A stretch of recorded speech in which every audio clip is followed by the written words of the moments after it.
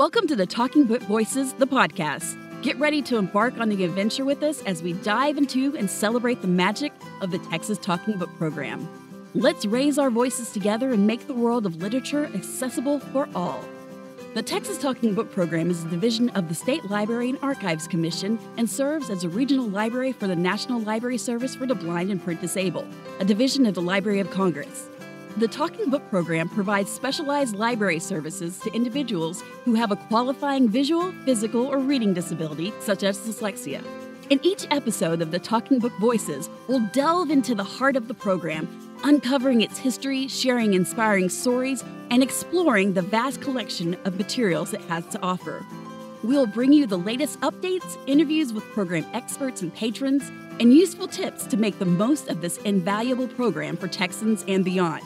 So, whether you're an avid reader, someone who with a print disability seeking accessible materials, or just curious to learn about this great program, this podcast is made for you. Don't forget to visit us at www.texastalkingbooks.org for more information. So let's begin the Texas Talking Book Voices, a podcast by the Texas State Library and Archives Commission.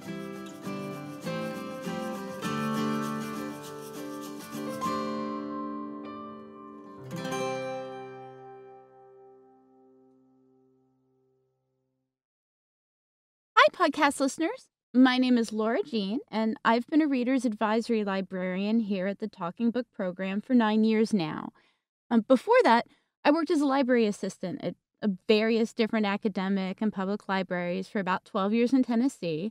Uh, and then I came to Texas to attend the University of Texas at Austin in order to become a librarian and was hired by the Talking Book Program, and the rest they say is history. So you may be wondering, what exactly does a Reader's Advisory Librarian do? Think of us as your friendly neighborhood public library.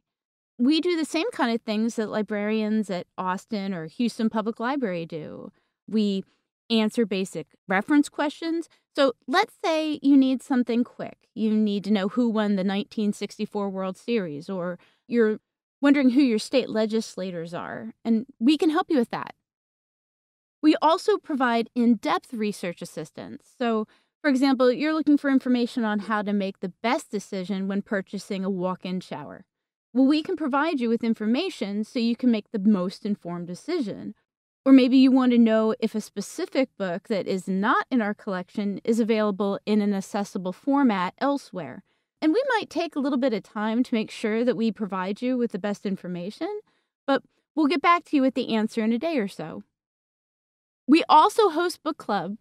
So we're responsible for selecting books for our book club discussions, although recommendations are always welcome, as well as writing discussion questions and moderating the discussion.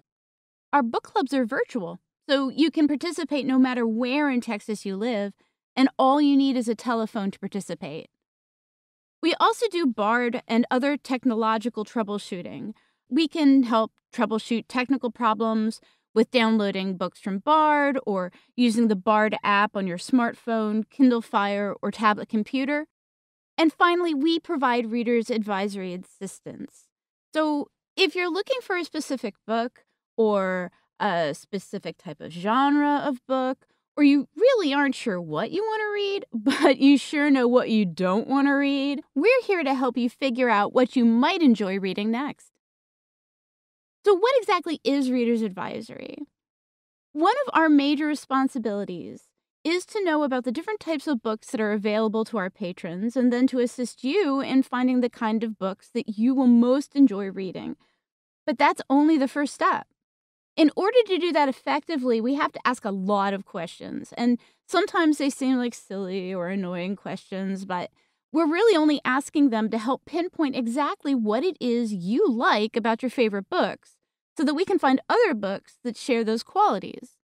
So, for example, we may ask you who your favorite authors are so we can find authors who write in a similar style or tone that you might also like.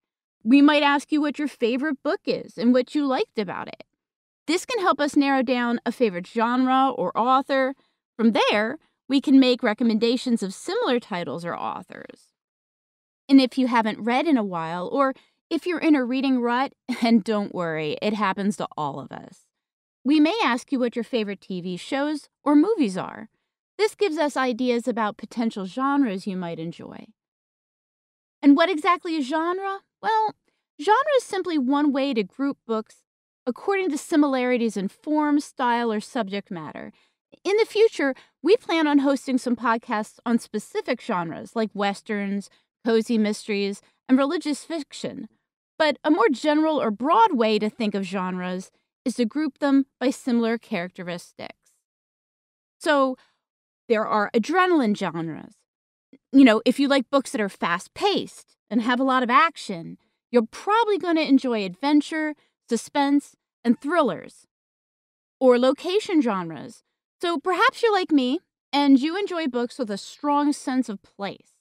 Vivid descriptions of the environment in which the story is set occur in genres like science fiction, fantasy, historical fiction, and westerns. Emotional genres. So maybe instead you like those books that make you feel intense emotions like horror, romance. Uh, gentle reads are what I like to think of as feel good books, or what's sometimes known as women's fiction. All have sympathetic characters going through experiences that cause us to sympathize along with the characters intellectual genres. So maybe you like books that make your brain really work, books with puzzles to solve or psychological quandaries to ruminate over, maybe even unusual or experimental formats or concepts. And if that's the type of book for you, you'll tend to like mysteries, psychological fiction, and literary fiction. And even though there are genre specific literary awards for literary fiction, most of those may be tempting for you too. And nonfiction. So maybe you prefer the real world, reading about concrete things rather than the fictional ones. You prefer to watch documentaries um, rather than sitcoms. Do you like watching Nova? We'd probably start you off with scientific nonfiction. Or if you prefer watching the History Channel or American Experience on PBS, we'd probably start by suggesting various nonfiction history oriented books. Well, now that I've given you some food for thought about what Reader's Advisory librarians do and asked some questions to make you think about what kind of books you might prefer, give us a call. Let us help you figure out what to read next.